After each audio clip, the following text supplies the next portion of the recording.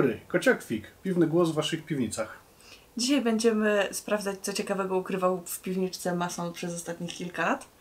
E, jakiś czas temu robiliśmy degustację piwa 18-letniego e, porteru piastowskiego. No i to było piwo, które całkiem fajnie się zachowywało po tych 18 latach. Mogło być lepiej. Mogło być lepiej. Natomiast teraz mamy e, 8 piw, 8 porterów, po których nie spodziewamy się absolutnie niczego dobrego. Zobaczymy, czy będziemy mieć rację i odpowiemy na pytanie, czy każdy porter warto leżakować. No, Można nam odpowiedzieć. Oczywiście, że nie, ale udowodnimy Wam to po prostu. Chyba, że się okaże, że jednak się myliliśmy i te portery jednak będą fajne. Nie. Wtedy przyznamy się do błędu, nie będziemy udawać, że jest dobrze. Okej, zacznijmy od Od jednego drugiego z niewie- kota. Tak. Porter pardubicki, jeden z niewielu? Czeskich porterów bałtyckich. Minimalnej trwalności do 22, 12, 12. E, 19 platon, 8 alko. Wszystkie te piwa były przechowywane w piwnicy, w bloku, więc wiadomo, że e, temperatura nie była idealna. Ale nie była zła, wilgotność też była na poziomie Tak. mniej więcej stałym przez cały rok. Uwaga, uwaga, tam może jaka strącić szkło. Tak. Masz kapselek. E, nasza kotka jest birofilką, zbiera kapsle. Nie będę lał zbyt dużej ilości, żeby później było mniej do wylewania.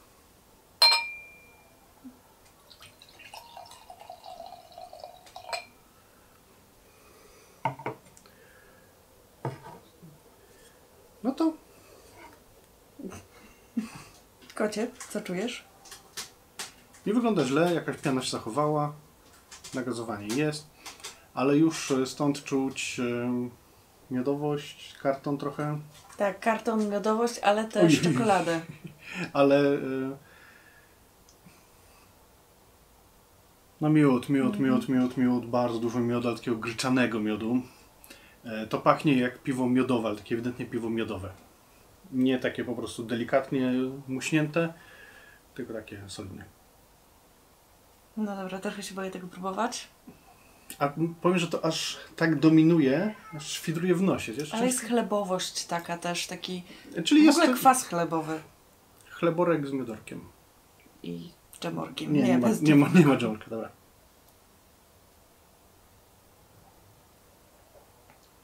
Kawa zbożowa. W ogóle nie ma jest- prawie owoców. ale nie jest takie puste, jak się obawiałem, że może być. E, Więc e, pełnia smaku. No nie jest to porter taki pełnoprawny, ale on nigdy nie był takim pełnokrwistym porterem. Nie jest źle, jeśli chodzi o pełnię. Mm, ale troszeczkę nuty takie ym, fekalne się pojawiają. Znaczy, więc ja tego nie czuję, no ale okej. Jesteś lepszym sensorykiem. Mhm. I to jest z piwa, nie z tego końca kota, zdecydowanie. Fuj.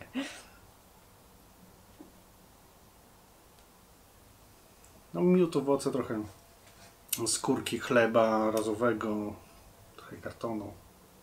Głównie ten chleb razowy czuję. Dla mnie głównie miód. Z razowym chlebkiem. Czyli to utlenienie poszło tak.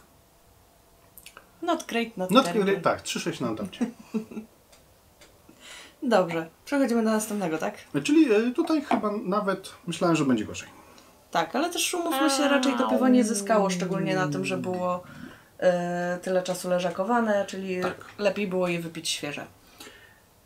To zapowiada się gorzej, ponieważ to mam Baltica Porter rosyjski.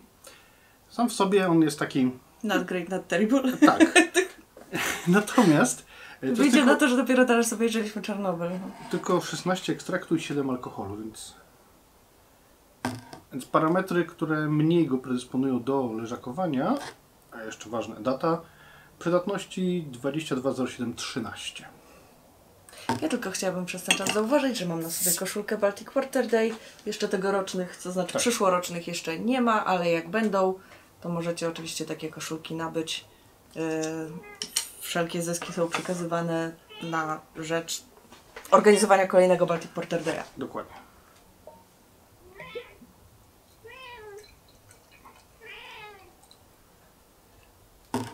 Znajdziesz sobie, bo E, aha, dobrze. trochę unieruchomiony przez... Ja właśnie byłam ciekawa, czy dasz radę. Mamy słodycz tu, tutaj też słodycz. Ja sobie tak hojnie nalałam. Mhm. No i jest mniej e, drzemowe. Mniej miodowe też. Tak. Jest bardziej mleczno-czekoladowe. Mhm. W sensie nie mleko i czekolada, tylko czekolada mleczna. Tak, tak. Ale jest taka jakaś e, popiołowo, może tytoniowa nuta też? Mam wrażenie? No coś takiego się tam pojawia. Wow! To jest z dodatkiem elitarnych odmian chmielu.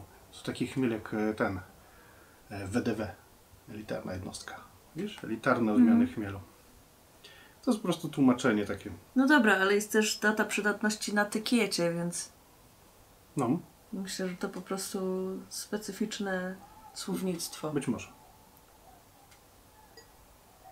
Teraz aż się chcę w to No, w wczytać. składzie jest syrop maltowy. A widzisz.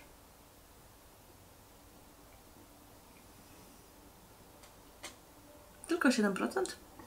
No. Słodkie. Mhm. E, Słodko-miodowo-owocowe. Ale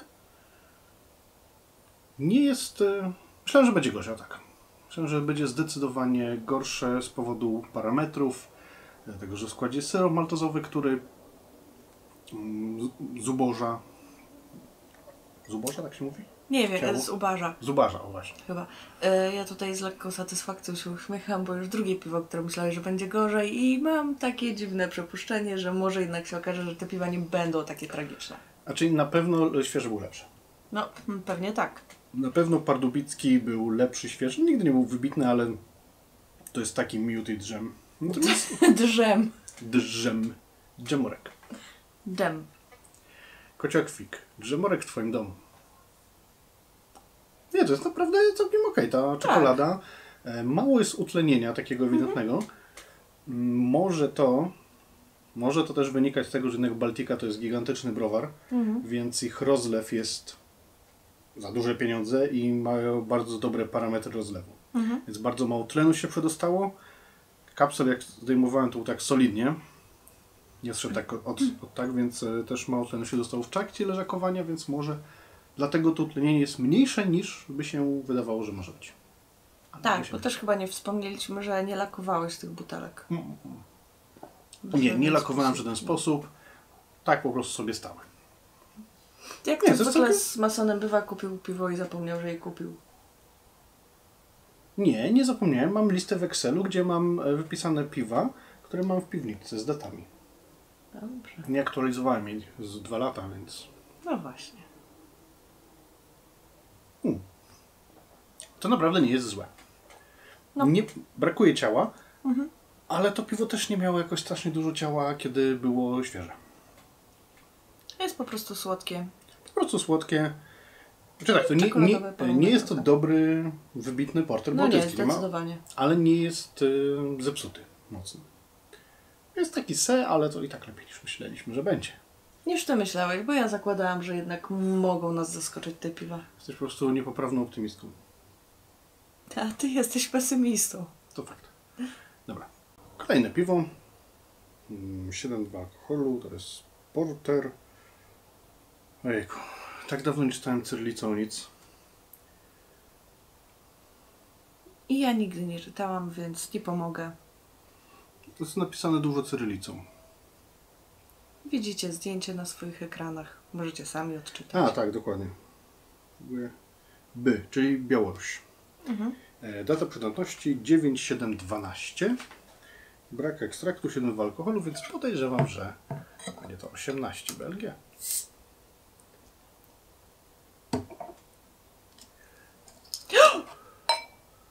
Okej.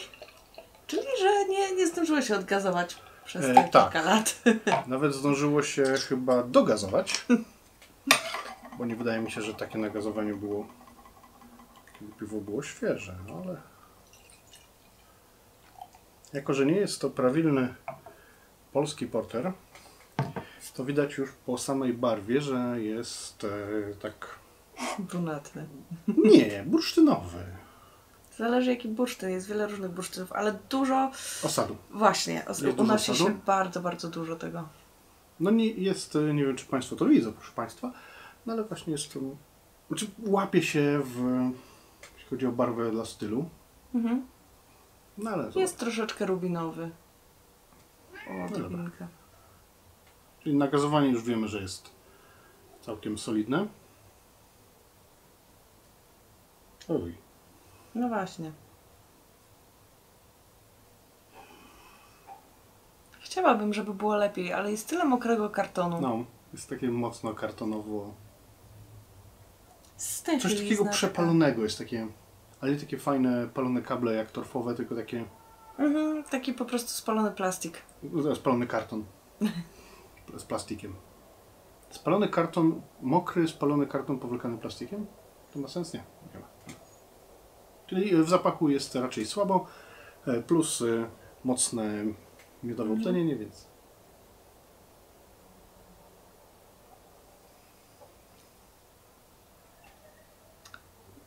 Smaku nie ma tragedii. znaczy, Znaczy, prawie nie ma smaku. Jest No słodkie, m, takie karmelkowe, mhm. takie doppelbockowe i niewiele poza tym. Jest taka delikatna goryczka, no ale takich nut czekoladowo-palonych, porterowych to, to jest za bardzo nie czuję. Mhm.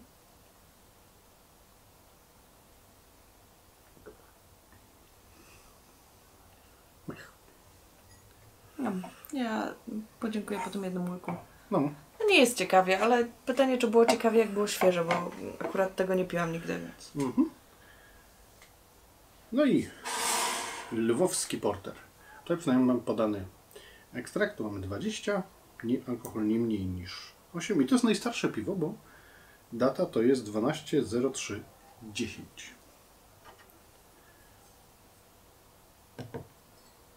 To piwo kiedy było świeże było 12.03.10 to były początki naszego związku. No. Mam nadzieję, ale nasz związek się lepiej znosi Nie próbę utlenił czasu. się. Nie utlenił się tak jak to piwo. Nie czuć miodu w naszym związku. To trochę może Chcesz czuć. powiedzieć, że nie, nie, nie ma słodyczy. Słodyczy jest, ale nie mam mokrego kartonu w naszym związku, to na pewno. No, staram się. No dobra, znowu barwa, Barwa jest bardzo podobna. podobna, może ciut ciemniejsza, nie jest przegazowany tak jak poprzednie. I nie ma osadu. Mhm.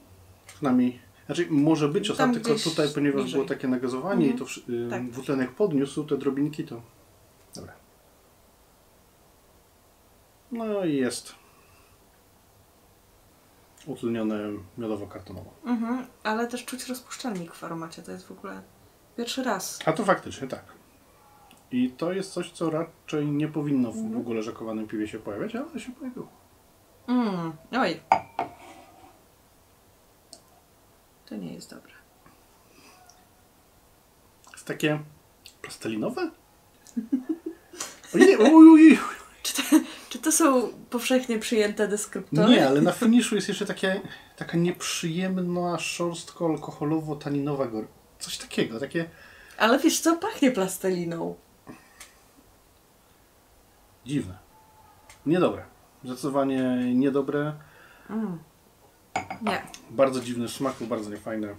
E, to nie, zno- nie zniosło dobrze próby czasu, ani jedno, ani drugie. Czyli e, jednak mogę mieć. E, ja będę się upierała, że te piwa były niedobre od samego początku. Ale więc... nie były aż tak niedobre. No dobrze. E, Piwo, którego nazwa brzmi dumnie. Black Boss. Brzmi jak e, ksywa jakiegoś aktora porno. O, No, a nie? no trochę. No tak, że to jest piwo, które pewnie większość z Was zna, bo było dosyć dobrze e, dostępne. A jeszcze jest w ogóle? Nie wiem, Nie czy kojarzę. widziałam E, Data lat temu. 9212.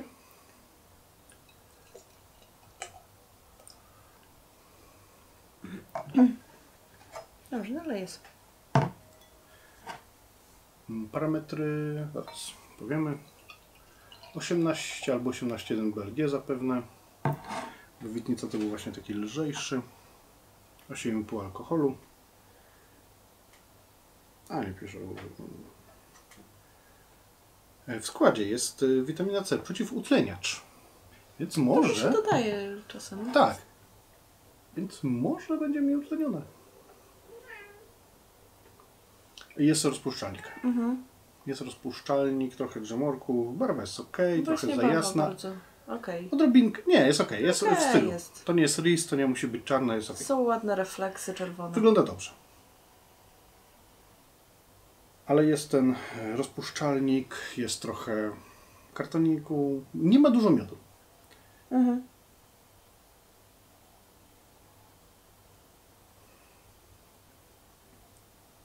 Taka nuta. Porto. O, tu jest Porto.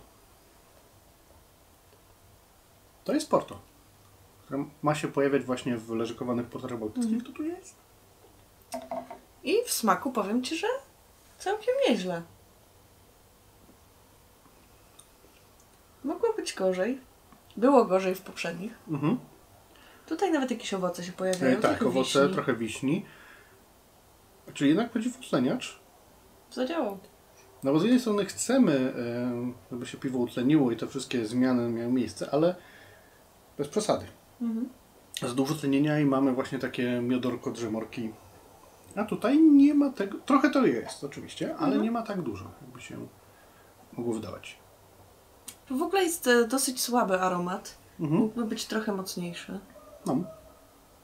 Jest taki... no, gdzieś tam istnieje. Znaczy smaku niewiele się dzieje, tylko że w tym piwie niewiele się działo, kiedy było świeże. No. Czyli, że całkiem nieźle się... E, tak, e, nie pogorszyło się zdecydowanie.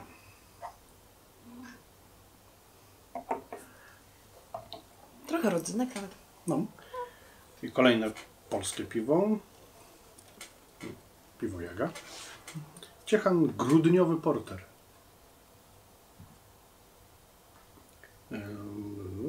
Leżakowane 1095 dni w browarze, no ale później trochę w piwnicy. I data płynności 280612.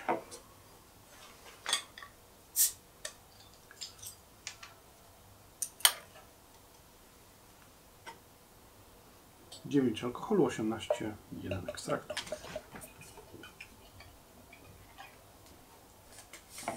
Dobra. Poluj na kapselek.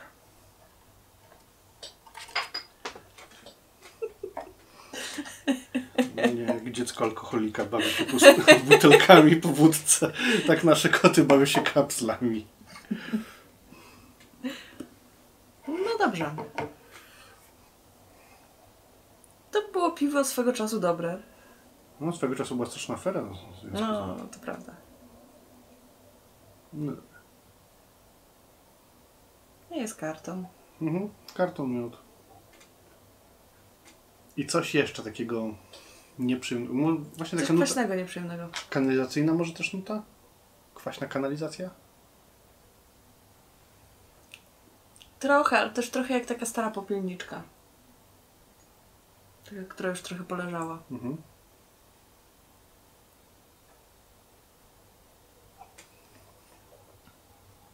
Mm. Nie. Je- y, Jest, Jest zepsute po prostu. y, jest kwaśne. Jest kwaśne. Znaczy nie jest tak kwaśne jak Katarina Sauer. Ale jest kwaśniejsze niż powinien być porter. E, Takie kwaśne wiśnie, takie mocno kwaśne. Poza tym... Co poza... Coś poza tym? Ja się boję tego spróbować jeszcze. Nie no, jest utrwalone. Nie zjecie. Mm, bardzo źle pachnie.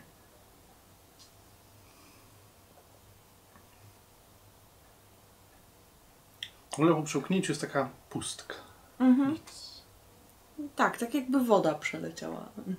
No, no tak to nie. No prawie. Że to cieka woda. Na przykład zuber. Jak wypijesz zubera, to... Pijesz zubera? Nie. No. Szczęśliwi ci, którzy zubera nie pili. To jest woda bardzo lecznicza i bardzo pachnie jak lekarstwo, A, czyli bo źle. ty, ty lubisz wody ogólnie, która ma smak. Lubię. Ale nie taki smak, nie zgniłych jaj. Dobra, to jest A, lepsze czyli niż... siarkowa mocno. Tak. Okej. Mm. Nie, nie, nie, nie, nie, nie, nie. Jak to piję, to mój organizm mówi zostaw, wypluj, niedobre. To ci zna. Tak. Ugh. No, Nie jest. Nie. Nie. zdecydowanie. Ja idę się napić czegoś. W sensie prze, przepłukać się wodą. Porter czarny Argus. Legenda. 18,1 ekstraktu 7,9 alkoholu.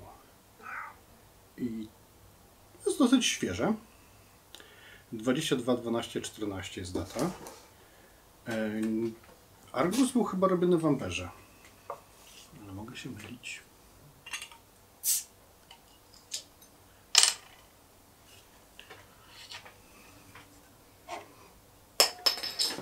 Trzeba było kotkę y, zaangażować w zabawę.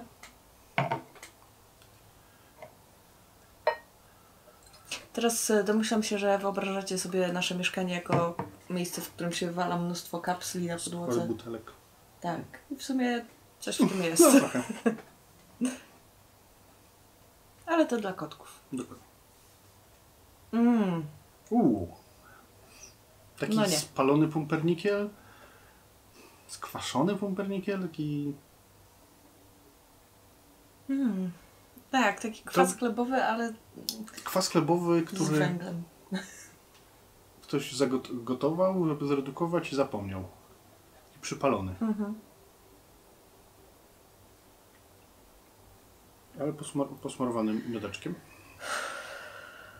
Muszę się zebrać w sobie, żeby spróbować.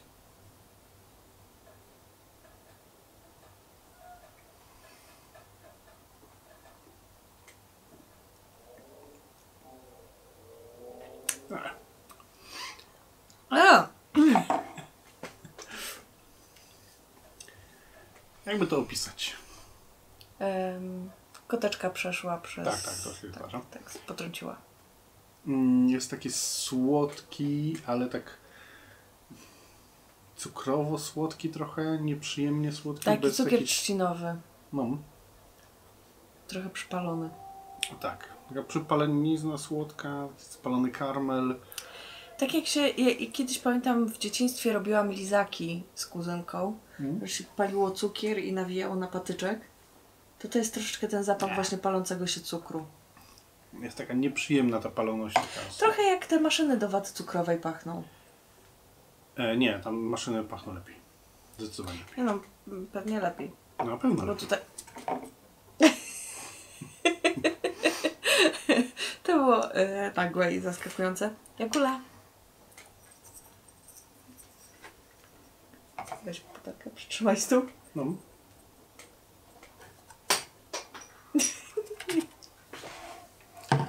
No tak. Dodatkowe atrakcje. Tak.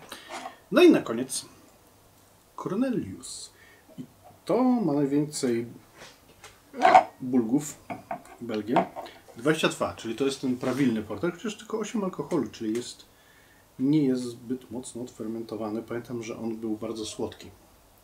Data 020412. Cornelius jeszcze działa. Tak, ale chyba porteru już od jakiegoś czasu nie ważył. Później go zmienili na butelki 04, a później stwierdzili, że w sumie nam się to nie sprzedaje, więc... Ale jest mocno odtłumiony, nieprzyjemnie. Zmienię teraz. Kartony. Tak. Mm, tak. Problemem z takim mocnym tlenieniem jest, że te nuty kartonowo-miodowo-dżemorkowe przykrywają wszystko inne.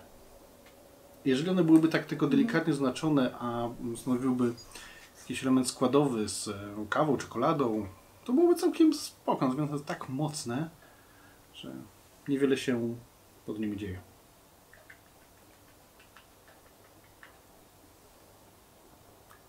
Mam cukrzycę. Jest tam cukrzyca. E, po co pastry stouty? Mamy Corneliusa. Jak jest Słodkie. No, to jest jak syrop, taki, który powinno się jeszcze rozwodnić. No, syrop cukrowy, tylko ciemny. I już ma alkohol. Kicia, tam jest kamera. Przywitaj Odwróć się, się ładnie. Odwróć się do mnie. przywitaj się z Państwem. Może nie tym końcem. Przywitaj się tym ładnym końcem. No, no, ma wszystkie końce ładne. No, tym, No mrucz, tym mruczącym. E, więc y, słodycz wciąż jest. No, wciąż jest zdecydowanie za mocna. Jest w zasadzie tylko słodycz. No, jak było świeże, to przynajmniej była Mhm. jakaś paloność, która trochę, trochę dawała kontrę. To pamiętam, że też jak syrop cukrowy się piło. A teraz nie jest lepiej. Potwornie słodkie. No ale przy, przynajmniej nie czuć w tym czegoś, co by mnie chciało zabić.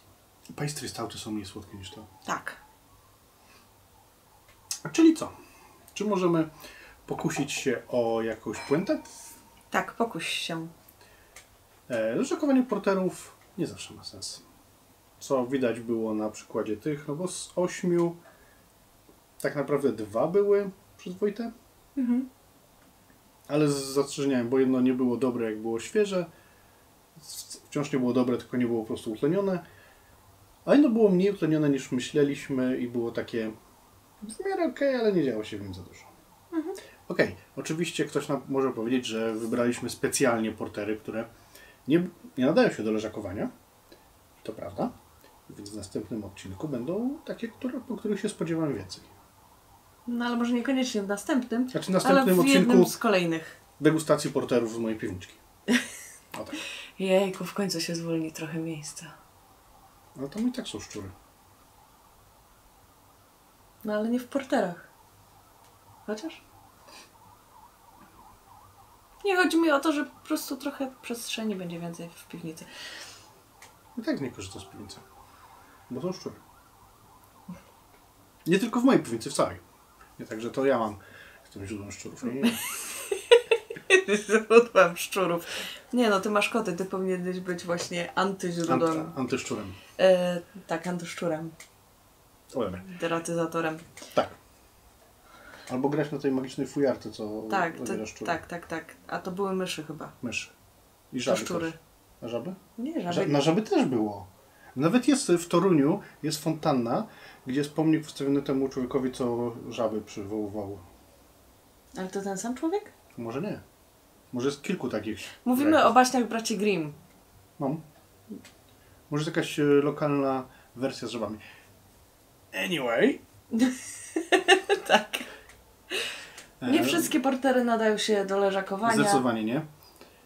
Więc e, te się nie nadają.